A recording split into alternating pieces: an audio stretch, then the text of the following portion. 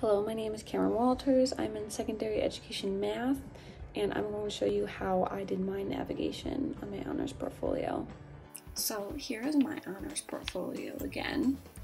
So as you can see, I have a tab for experiences, a tab for my about me, and a tab for my year in reviews.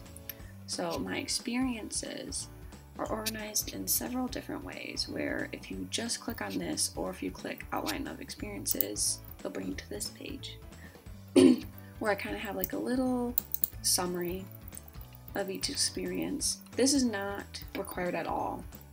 Like you do not need this page.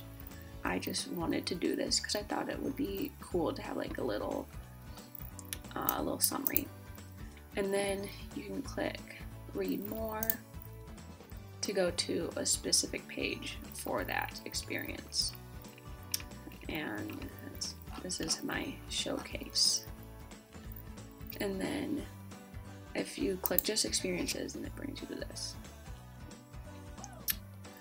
Um, and then my year in review, if you click that, it brings you to these. I don't have a year three, so I need to delete that.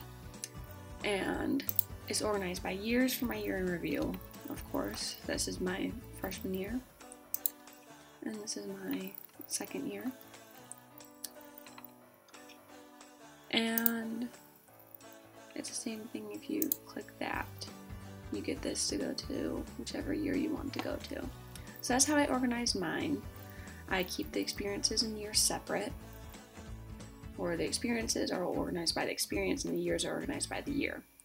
What you could do is you could have like year one would lead to the year in review and the experiences you did that year too, if you wanted to organize by years. But I personally did this way.